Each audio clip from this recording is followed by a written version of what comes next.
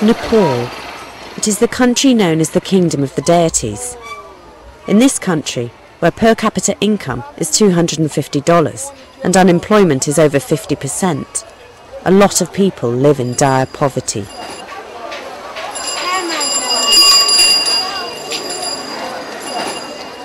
And yet, hope and comfort are never too far away.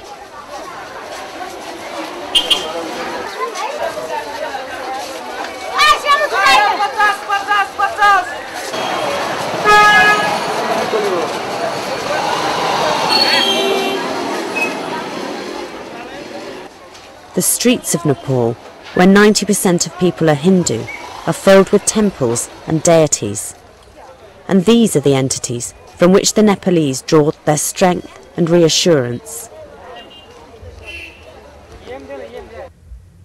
There are numerous deities in Nepal, including Shiva, the god of destruction, Vishnu, the god of prosperity and preservation, and even animals who are believed to possess divinity.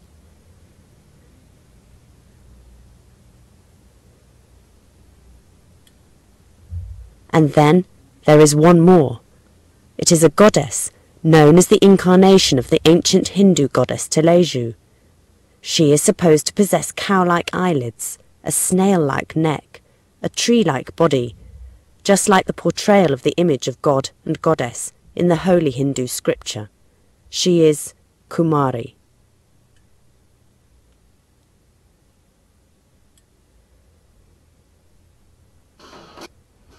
This is Patan in Nepal, a city of beauty. A big festival is being held at the moment. Every June, thousands of people come to worship Machindranath, an effigy made of wood, and carry him across the city. Machindranath is the god of rain. The Machindranath festival is the Hindu tradition where people make an offering to him for an abundant harvest.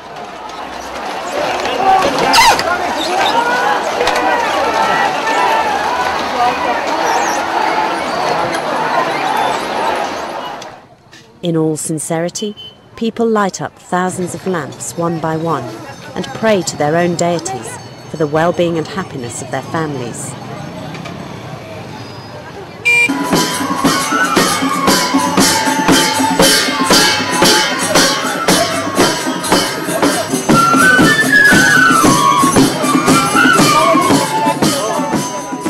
One more deity has been invited to this festival.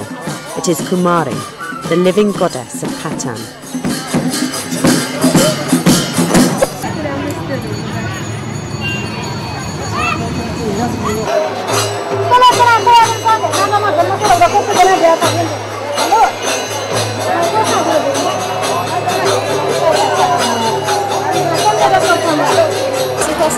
I pray for well-being and happiness in my life. All Nepalese people worship Kumari. She is the goddess.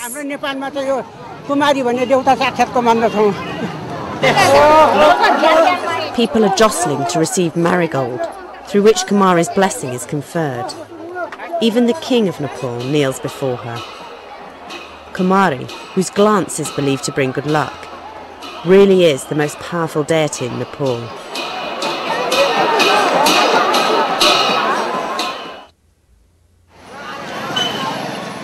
Durbar Square, which is filled with temples. It is the site where the greatest Hindu kingdom was found. A royal Kumari, who has close contact with the royal house, lives here. The place is visited by hundreds of visitors and tourists every day. She seldom makes an appearance in public. Occasionally she does so just for a few seconds.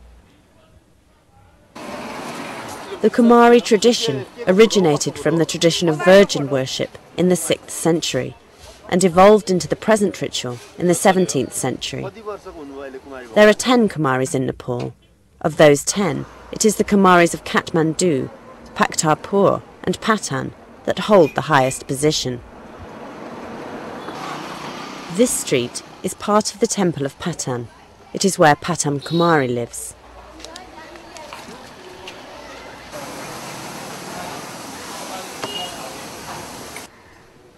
Certain formalities have to be gone through before one can see Kumari.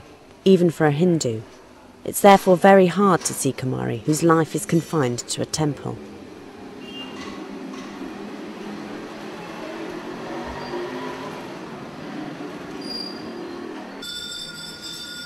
The status of Kumari as a goddess is not granted by birth.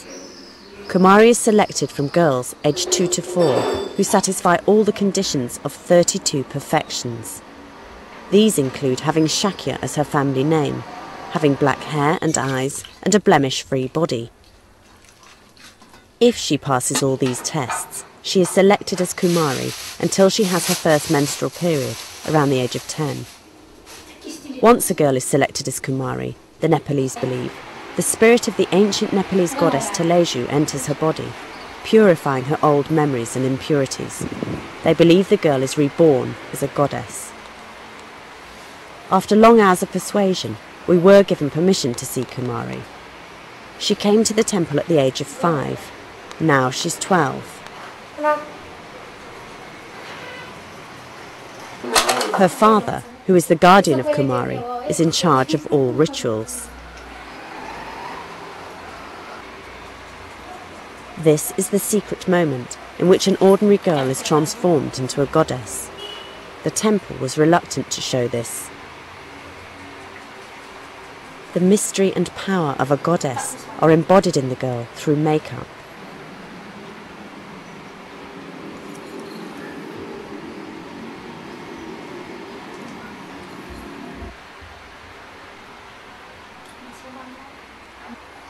A tika is glued on the girl's forehead. A tika is the eye of wisdom that sees through all things in nature. Her ornaments are believed to have divine power. The more ornaments, therefore, the more divinity. And thus, a Kumari is given the form of a goddess. Are you not allowed to say anything as Kumari? You can talk now, can't you? Kumari cannot talk to anyone. Once he waves the bell and starts chanting mantra, puja starts. Puja means prayer, and it's a Hindu ritual carried out by humans to communicate with the deities. The same rituals performed for the images of deities inside the temple are performed for the Kumari. He gives his prayers, which are believed to infuse new life into Kumari, purified through holy water. Through this ritual, she who has assumed the likeness of a goddess with makeup and ornaments is now officially possessed by the spirit of a goddess. Her parents are both her guardians and the closest devotees. They bow and ask for her blessing. Once she becomes Kumari, she must be served in this way, severing all ties to the mundanities of life.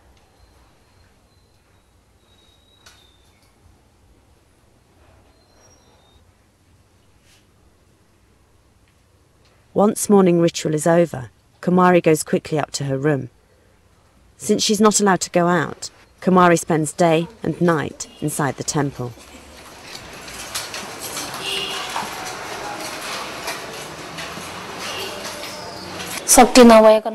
She didn't feel it was hard because she has spiritual power. In the last festival, she couldn't move for four hours. She couldn't have stood it if she didn't have spiritual power. The majority of Nepalese believe that Kumari possesses spiritual power, but every Kumari becomes the living goddess even when they don't know what a goddess is.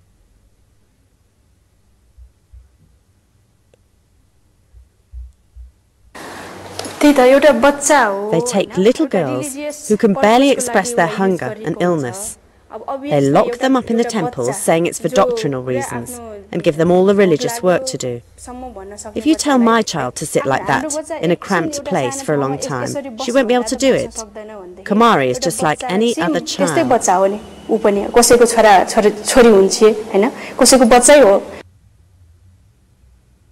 Kumari is thought to be specially chosen by mystic powers, but they have no freedom and live in isolation from the outside world.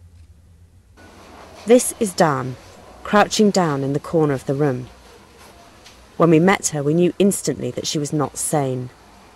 She persists in keeping her Kumari status because her periods have not started yet. She just gives her blessing mechanically to visitors. Some people argue that the fear of being stripped of her goddess status, along with the numerous taboos and repression, has affected her mental condition. She can't be Kumari forever. If she loses her teeth, laughs too much, starts menstruation, or has a mental disorder, she's stripped of her status, and a new Kumari is selected.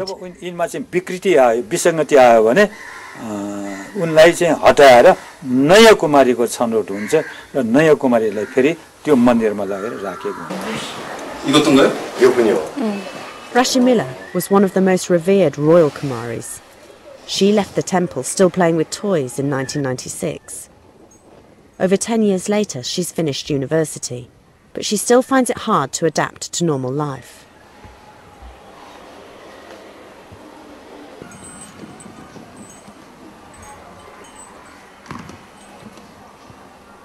It was really hard then. As a Kumari, I was always taken on someone's back when I needed to move, so I couldn't practice walking.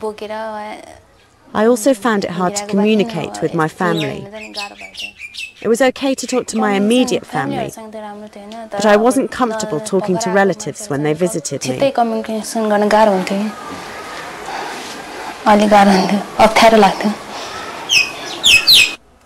The life of Kumari, once her status reverts to that of ordinary citizen, is neglected and ostracised by the indifference of the public. It's as if you use the kids for a short period of time in the name of religion and culture and then throw them away. Nobody cares what would happen to the retired Kumaris.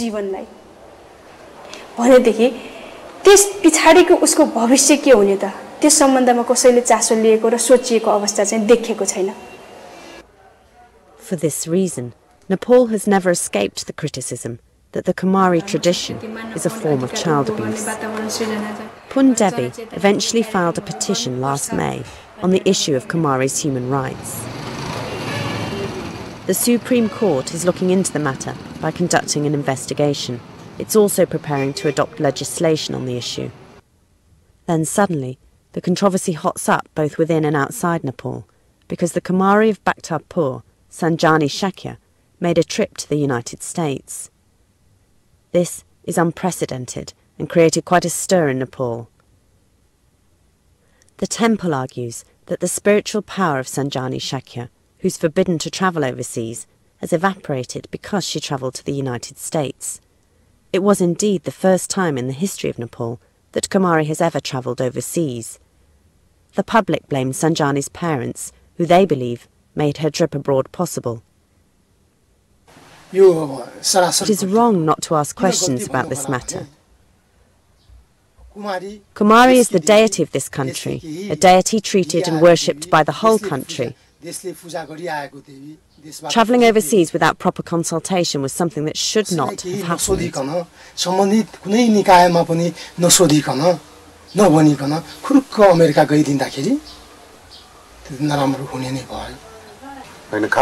To be honest with you, I didn't know the Americans eat beef. We've never visited other countries. We thought she could go to the United States, just like she goes outside to play and to school. That's why we sent her.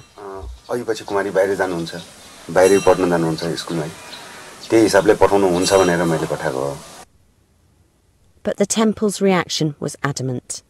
They said they would call her to account for travelling overseas and would therefore expel her from the temple after marrying her off to a fruit tree, according to the Newar tradition. This is one of the goddess's few outings. People give her a respectful bow on her way to the festival. Lest her feet touch the ground, the Kumari is carried safely in her mother's arms. It's the last day of the five day long festival. The Prime Minister and high ranking government officials came to visit to receive the Kumari's blessing. She gives them blessing and flowers that symbolise authority.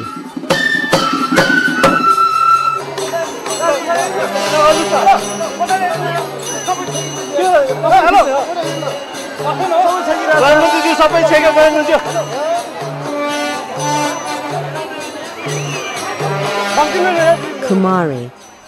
She is respected and beloved by every Nepalese, in spite of the controversy over child abuse. As long as there are people who depend on her and who strive to preserve the religious belief in Kumari, she will stand as a living goddess forever.